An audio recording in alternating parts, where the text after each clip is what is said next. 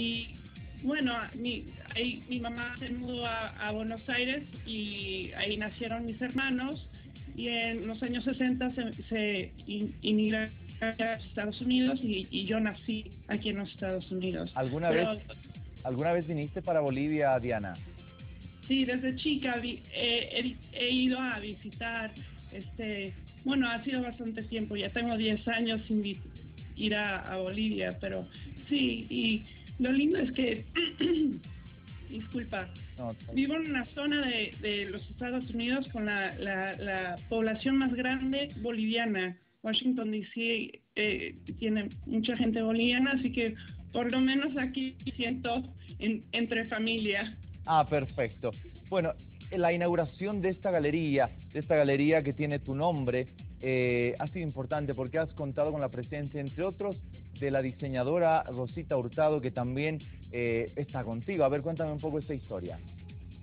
Bueno, Rosita es, es, es, casada con mi hermano ah, eh, Daniel, es mi cuñada, eh, increíble persona. y bueno, vino para la inauguración, hicimos una producción para, para su nueva línea de Isoye, muy bonita y vino y hicimos una producción bastante grande y después lo continuamos con la, con la, inauguración del, estudio.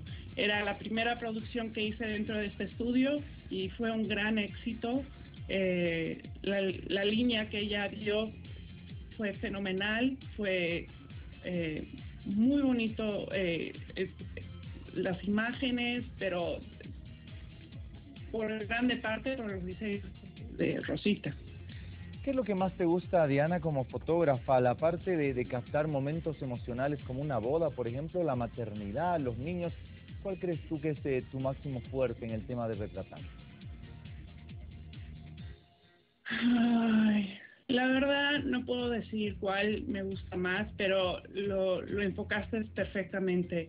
Eh, mi meta cuando, cuando cubro esos tipos de eventos, sea un bebé o una familia, maternidad, una boda, es me enfoco en las emociones, a, los momentos orgánicos que están ocurriendo en dado tiempo, es, es, es capturar ese momento que la gente quiere que, que exista para eternidad. Eh, siento que ahora la, el trayecto de fotografía es en, en captar esos momentos, en, que no, no sea tan, tan este, no hay que posar tanto a la gente, es mejor eh, conseguir esos momentos. Bueno, y este momento para nosotros es especial porque tú tienes sangre boliviana, el talento indudable, innegable, y por eso te queremos felicitar. Te mandamos un abrazo enorme, Diana, desde La Paz, desde el estudio de Levántate Bolivia, y este saludo y este cariño de todo el país porque sabemos que tu talento va a seguir brillando y parte de ese talento va a llevar inscrito el rojo, amarillo y verde. Muchas gracias. Dale, gracias, muchas gracias y, les agradezco invitarme. Ahí estaba con nosotros Diana Lekovic, una fotógrafa espectacular que tiene sangre boliviana.